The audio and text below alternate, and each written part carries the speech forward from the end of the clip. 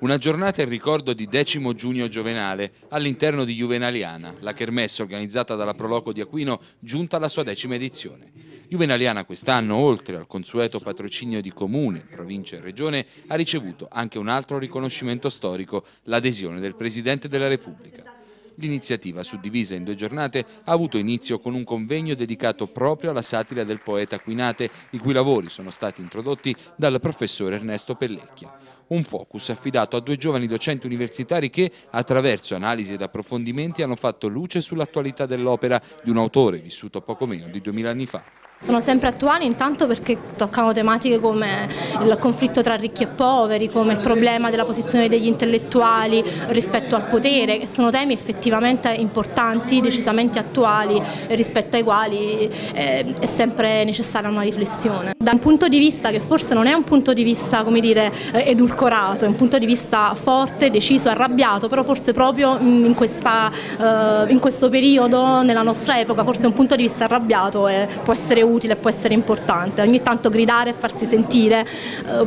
può essere utile, soprattutto adesso.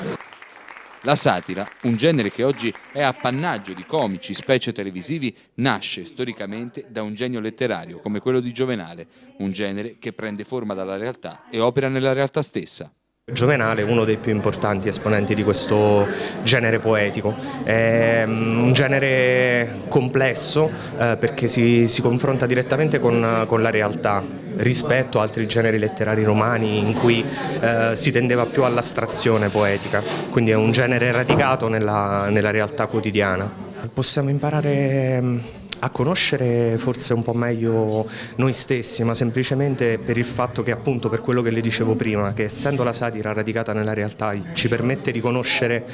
il mondo come era in passato e come è oggi perché è rimasto sostanzialmente lo stesso rapporto fra eh, chi scrive e chi, chi osserva la realtà.